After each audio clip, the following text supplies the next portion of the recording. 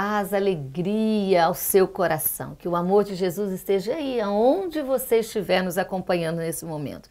Que você tenha a paz, a paz que nos faz enfrentar todas as dificuldades, não é? E sairmos assim ilesos e confiantes. Nós seguimos nesse mês de setembro com esse programa especial tratando sobre a valorização da vida e também os riscos do suicídio. E nós estamos aqui com a Norma, que é do CVV. Tudo bem, Norma? Tudo Seja bem-vinda mais uma vez, né? Sim. E nós queremos, Norma, hoje trazer para você, é, sintetizando algumas perguntas que nos chegaram, principalmente a questão como nós podemos perceber que uma pessoa corre risco em relação ao suicídio. A pessoa dá sinais que ela está pensando no suicídio? Sim, ela dá sinais, ela muda o comportamento e as pessoas não. Se ela é mais alegre, ela fica mais tristinha, se ela é mais tristinha, ela fica mais animadinha. Então só muda de comportamento e as pessoas não percebem. Ela começa a falar assim: ah, não aguento mais, eu vou sumir, vocês vão se livrar de mim, não, eu sou um peso morto. Eles vão dando esses sinais e as pessoas não vão percebendo frases assim, que parece que não é nada. A pessoa está sempre falando a mesma coisa, uhum. mas aquilo já é um sinal que ela está Aí, quando muda o comportamento, por exemplo, um chefe de família, ele vai organizando, ele faz compra de mercado, ele paga todas as compras, então ele vai organizando os papéis, sim.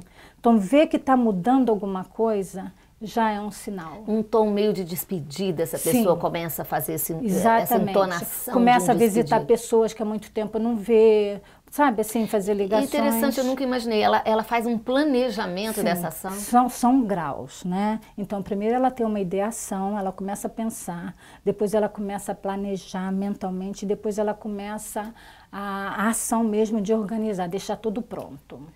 Muito interessante. E as famílias, né? É muito sofrido, obviamente, né? A questão do suicídio traz um grande sofrimento e a família fica num processo muito complicado, de culpa, de não entender o que aconteceu.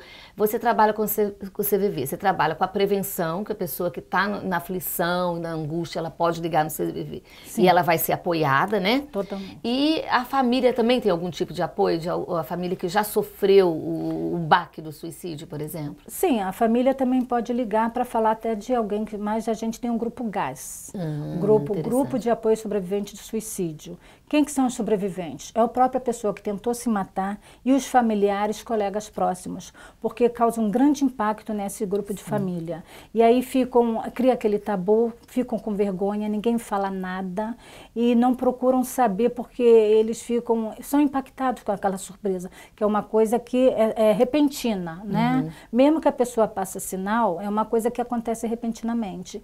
E aí gera uma um impacto na família que eles eles ficam mais tímidos, mais assim retraídos, retraídos. em vez de ir buscar a solução. E o gás veio justamente para facilitar isso. E esse grupo isso. ele favorece o sigilo, é um lugar que a pessoa vai com tranquilidade, tá com outras pessoas que passaram pela mesma questão e se autoajudarem, é isso? Sim, exatamente isso. Tem um sigilo, a gente tem um, um trabalhinho para trabalhar com as pessoas, justamente para falar isso. O que é dito lá, fica, fica lá. lá.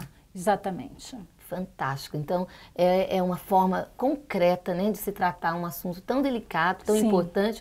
E a gente vê a importância né, da pessoa ser apoiada, né, tanto na, preventivamente Sim. e, obviamente, para as pessoas que já sofreram com e, essa questão. E como a prevenção do suicídio, a pessoa que tentou, ela indo nesse grupo, ela vai deixar de tentar porque tentou uma vez não quer dizer que ela vai parar de tentar.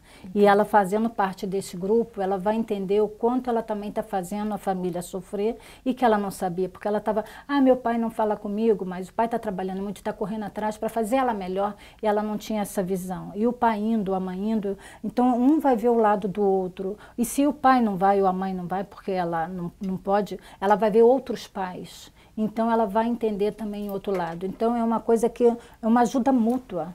Entendeu? Muito interessante. Nós vamos seguindo com o nosso programa para a dica do programa de hoje. E a dica que você, Norma, pode deixar para nós hoje, qual seria? Ainda é essa, né? Falar a melhor solução, porque a pessoa desabafando, principalmente com o CVV, porque ela lá encontra quem a ouça.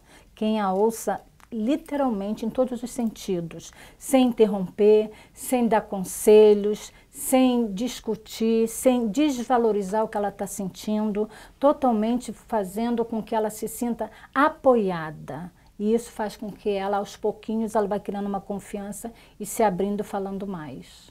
Perfeito. Não, muito obrigada pela tua presença aqui. Eu tenho certeza que não só não sou só eu que agradeço todos aqueles que acompanharam, né, o nosso Sim. programa. E muito sucesso né, no trabalho de vocês, que realmente vocês consigam alcançar esse objetivo, sempre Sim. valorizar a vida. Sim. Tá bom? Um abraço também para você.